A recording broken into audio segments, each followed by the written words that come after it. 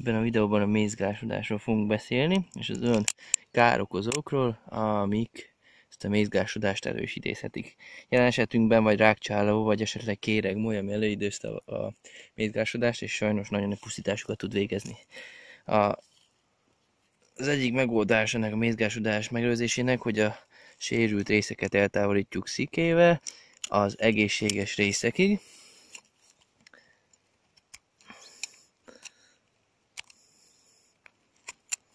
igyekszünk alapos munkát végezni. Látjuk azt, hogy nagyon mély részig ez a felület beteg.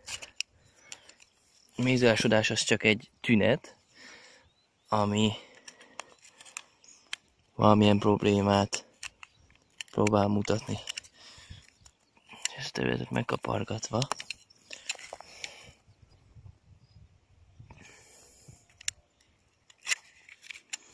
kivágva.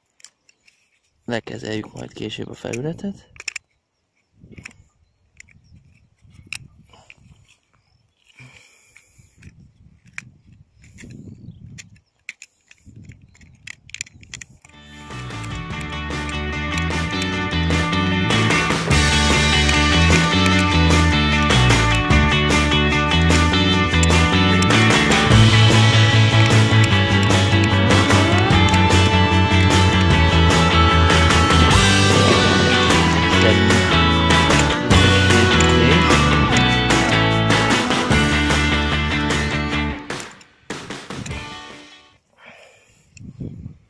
Körülbelül így kell kinéznie, amit lekezeltünk, és utána pedig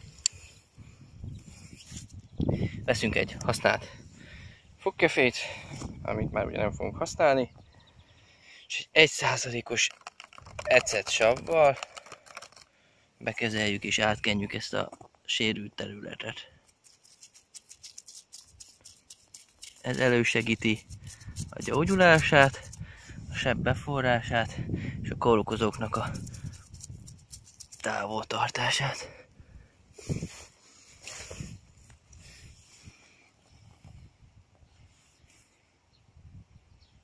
És körülbelül így néz ki az a rész, amit lekezeltünk. Látszik az, hogy a seb az begyógyult, igaz található még mellette ott egy-két csepp mézga, de szerintem ez már elhagyott ahhoz képest, amilyen volt.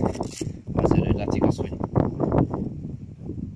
dolgoztunk a másik oldalán is.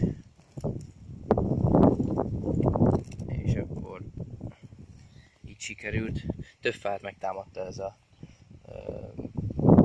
károkozó, mégpedig a kéregmoly, aminek a rágás nyomán alakultak ki ezek a mézgacsepek, ami, ahogy már mondtam, nem egy betegség, hanem valamilyen tünet a fákon tetszett a videó, osszátok meg, és lájkoljátok.